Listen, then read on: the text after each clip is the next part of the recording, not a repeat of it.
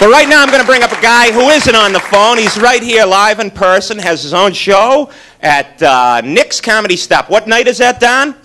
Saturday. Saturday nights.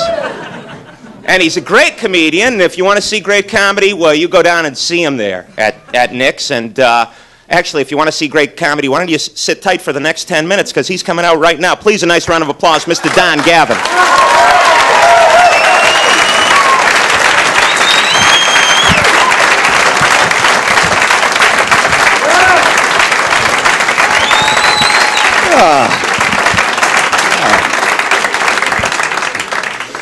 Good looking group here. Good looking. Taller than I thought you'd be, but you're good. And uh, it's funny, they say laughter is the, is the best medicine. Uh, but codeine works pretty effectively too, I think. But uh, I don't know. I'm not, you know, it's, you complain about life a lot. I think it's been funny. I, I was complaining one time. I was looking down, I realized that I felt upset because I, I had no shoes. Until, until I met a man who was wearing those two-tone yuppie dark side of shit things, and I said, I don't look that bad at all, you know? And uh, so it's an improvement, I guess. Things have actually been uh, pretty well, uh, pretty good, pretty nice. Uh, we went, actually, I was at the Sox game tonight because, uh, I don't know why I was there, but it was a place, let me explain, the bathroom there is a little bit different. Fenway Park is a beautiful place, but they've never changed the men's room. There may be 100 years. It's one of the few places that still still is one of those horse trials, which is kind of nice, you know. And I mean, you're at the game. It's maybe the third inning. You go on. I'd like to have maybe four guys splash on me right now. So you go down there, and it's one of the few places that you do wear socks, you know. And so 12 guys are lined up there, and everybody is like comparison shopping, you know. And uh, it's just not that good. I mean, uh, I think that men's rooms and ladies' rooms, as a rule, right now, becoming more difficult, even to get in. They don't say men and women on the doors. For 50 years, they said men and women, right? Not that I'm 50, but I, I read a book on urine. And, uh, but now, now they have the theme names on the doors. And this is happening to you, like Mexican restaurant the night, Matador and Bull, right? I'm not sure which one I am. You know, you're dancing around trying to figure it out. Right? Lad and Lassie, good. A guy and his dog are all set. Where am I going, you know? And now they have the physical ones. Aren't those cute? Point you cute. That's actually what I just did there. It sounded like I said cute. And uh, we have a few foreigners here, and I do this stuff for them. And uh, I didn't screw up. I'll just watch it. they love it. Now, okay, but so those things are cute. They have pointers and setters, shakers and wipers. It's gone a little bit too far, you know. I live in the beach. They have one that says outboards and inboards. I mean, they're actually true story. There are guys out in the car that are going. oh, thank God I have a long cord, you know. But now, now they don't even have names. They have the they have the black silhouettes. You've seen these ones, that you have to match up to the picture. There's no writing at all. You got to go up to the thing like this. And, oh, I think I got one of those. Okay, good. You know? And when you get in, the towels in bathrooms, very ineffective. There are three types. There's the paper towel, the one you push, you get about an inch a week, right? And they have an emergency feed. There's no emergency, this shit's run down my arm. It doesn't matter, okay? The second one is what? The cloth towel. Yo, let me pick a disease. That looks like a good one right up there. Yeah. And the worst one by far, I think, are the blowers. You know, the ones push button and rub hands briskly. Hey, rub this briskly. Will you? I mean, you do it for 15 minutes, and what happens? They never get dry. They turn red, that's all, right? then you what? You wipe your hands in your ass and you walk out of there. That's. That's a pain.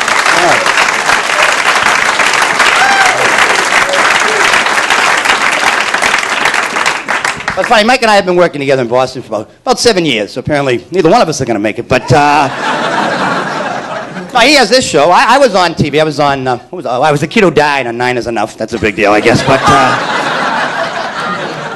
not a real big spot, but I liked it. You know. But, but it's tough. I think in this show, most of us are kind of kind of like night people. We're not tremendously organized. I will say that, and I admit that. Uh, there is a book right now, I think it's number three on the uh, non-fiction best bestseller list. The book is about being organized in life. So anyway, so I bought the thing, right? I lost it about a half an hour later, and I said, shit, you know, uh, I'm not organized, I admit. I'll give you an example. Anybody that carries an umbrella, I think we can safely say, is an ass. Because, uh, does this guy get up like an hour before time and what, look at a weather report? Oh, it looks like it might be raining. I'll bring foul weather gear. Good. Most of us don't do that. You're racing around the house. You're looking for that other shoe. You're spending 20 minutes doing that, you know? It just doesn't work out. But I mentioned TV because I have one. And uh, I don't know. I've been watching most of the commercials on TV are beginning to aggravate. I think the one that's now that's really bothered me is the 9X commercial. You familiar with this one? The 9X one, where they have the, the nuclear family, right? Not that they've been blown up, but there's four people there, you know, and there's the fireplace going in the background, and the father is the intelligent one because he has the glasses, and that's always a key, you know, and the, the, the mother, I guess she's maybe retired. We don't really know. She's, you know? And then you have the little kids. The little girl is Jewish, by the way. I don't know how she's in that. The rest of the family isn't, you know, but uh, I don't know. You know. I was trying to figure maybe both their parents were adopted. I don't know how it worked, but anyway, so she's there. The girl is maybe seven and says to the father, Dad, Dad, what makes the grass green? And the father, looking over, and in a, in a wise manner, you know, that wise look, he goes, Oh, the grass is green because of chlorophyll. The kid is seven. I imagine, why did you? I don't believe I didn't think of that. Chlorophyll. Shit, yeah, that's it. Thank you, I got it, right? Then there's a two year old kid. He's still in diapers. He's shitting himself, right? And he says, he said to the guy, he said, Dad, Dad, is the moon made of cheese? And the father goes, oh, oh, oh. No, son, molecules. Again, the kid's going, the proton theory. I don't believe this. I should have had that down? Get in the 9X book, will you, Dad, please, you know? But the worst one on TV, I think, now is the clapper commercial, because it's on so often. Clap your hands, the light goes on. Clap your hands, the light goes on. They actually have one for clap your hands, and you get it for your car keys, and your keys will make a noise when you clap your hands. And it says in the ad, it says, ideal for people with poor vision. Let me get this straight. There's a guy in the house. He's so blind he can't find his keys anywhere, right? Then he claps his hands, he picks them up, and he goes out on the highway. That's a good idea. Yeah, yeah, right. No, I don't think so.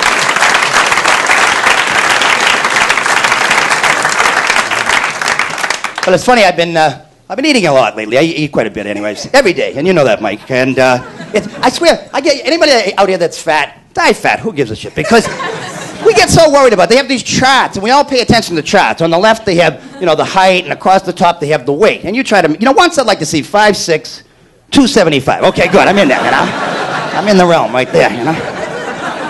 I'm not Mr. Exercise. I don't know. They have what are those exercise machines now? The, the beds you lie down and you lose weight by doing that. Yeah, I'm sure those work. Yeah, right. Yeah. All this other stuff about actually exercising and moving about that that's not that important. You know. I mean, a friend of mine jogs. I said, "How much do you jog?" He said, "About nine miles a day." And I said, "Where do you start?" He said, "The house."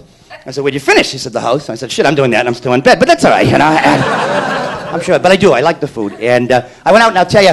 I'll tell you what. There is a uh, restaurant around here, a brand new place. I might mention that by name. A gourmet place called Ponderosa, and. Uh, some of you are laughing, you probably can't afford it, but go to Ponderosa because it's like $3.95, that's the basic price, but then they hit you for the extras, like if you want to sit down or uh, if you want the food on a plate, you know. And I was there tonight, and I was behind an elderly lady, and I don't know what old is, I'll admit that. Uh, I wasn't going to, you know, cut off one of her legs to count the rings or anything, but she was. Uh, a buck. See, I didn't know her. That's why I wouldn't do that. But she was like a buck forty, maybe a buck fifty, but a nice lady. And she's the type. We're in the salad bar line. The type that's always moving. Have you seen these people that never stop moving? And I figured, you know, even if she gets the salad, it's going to be tossed. I don't want to be nearby. And for 20 minutes, she kept this up. I'm going, she has to be plugged into something. No one has that much energy. So I was looking for a power cord, and I couldn't find one. And then I figured it might be drugs. I'd like to talk to us. So I got in close. And I was checking to see if maybe she had a battery pack. Right now, she grabbed onto me. Now the two of us are doing this stuff. And the people in the restaurant, they thought it was the entertainment. They're dancing around us. And finally, the true story. Finally, I broke away and I said, How old are you? And she said, oh, uh.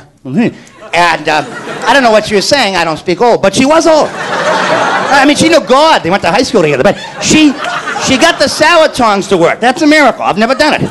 I always have, the, I had those, like the lettuce kicking people out, you know, the thing, the little cherry bombs. I mean, after like, what, halfway through, I give up. I go, look. And then what? You put the stuff on with your hand. And now they put a clear plastic shield in front. You know the kind? You want food now, you got to go in underneath to get the food. The good food is in the back. In the front, they give you like a yard of chickpeas. Nobody eats that. But in the back, there are live lobsters. You've seen them and I've seen them. But you can't reach them.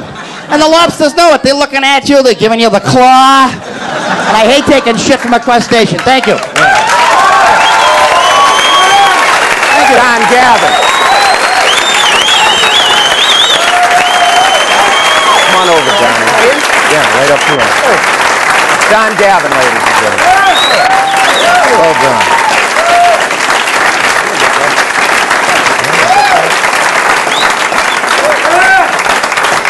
see John every Saturday night over at Nick's Comedy Stop in Boston. Oh, look. Yeah, pretty good. Yeah. I got two of Get a those. little shot. Hmm. I'll be putting this on sometime during the show, so don't worry Okay. about it. Yeah. That's all right. We had this trouble the last time. know you it here. I see, I'm not- You got to quit wearing sweaters. Well, that could be it, but I'm not mechanical Along either. with that, they actually have like those grips set at about 2,000 foot pounds. Yeah, I So, think uh, that's, that's perfect right yeah, there. that's Okay. beauty right there. Yeah. So uh, you've just come back off the road, have you? Yeah, well, actually, um, I'm going away to Atlanta tomorrow, but I had a six-week tour. uh, which was was just uh, canceled. I was. It, uh, it was opening for this Fred Astaire character, right? And he gets sick or something. but Ah, yeah. I don't know. It just. Uh, I know. I feel bad about it too. You know, but true story. True story. Oh, go hoo. You weren't sending any flowers, pal. That's right. You still living on the beach? Oh yeah, Mr. Beach. That's me. Yeah, you could probably tell I by can the tell. tan. What a yeah. tan. Ooh, Yeah. brown as a berry, they say. That's Actually, right. I'm Irish, so I, if you have Irish blood and you don't get a tan, you look you look like a milk bottle with arms. Mostly is what you look like, you know. So, it's, uh, you know. But this is very uh, Florida. Oh, it certainly is. Yeah, your this Key is, West look. This, this I bought. Actually, I bought it here at a men's shop, place called Marshall's. Oh. And uh, Exclusive French store, yeah. yeah for sure. Uh, I wish we were making some of this up. Okay, good. No socks today? You No, no socks was, any day, as uh, a matter of fact. I just like it when I can actually match up the shoes. The socks is like another big deal, so this was enough tonight. No underwear either, but I, we'll, No we'll- underwear? You can take my word on that one, okay? Okay, we will.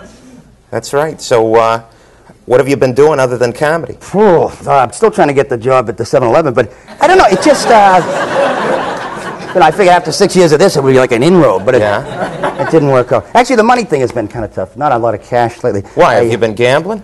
I've been known to wager, yeah. Yeah? I, uh, Were you at the uh, Hearns Hagler fight? Yes, we were there, unfortunately. Uh-huh. We were in the losing section, as a matter of fact. The whole group was there. But well, I, now last week I lost. I'm watching TV. I lost 50 bucks on uh, White Shadow, right? And uh, no, Carver was at home. They were giving four. I said, not a bad bet, but it was a repeat. I didn't even know this, and I said, ah, shit. You know? I said, this isn't working out. The White Shadow. True, true. But the money thing. Now, how you doing? We're getting paid a handsome sum to do this, right? Tonight? No, every time when you do it, don't you? You didn't get the bottle of beer in the back? The Beato? No, I didn't. No, the they didn't have any beer? Yeah, that was for the foreigner. Thank you. Okay, good. That's right. That's that Foster's bottle of beer. It's a beautiful thing coming in here.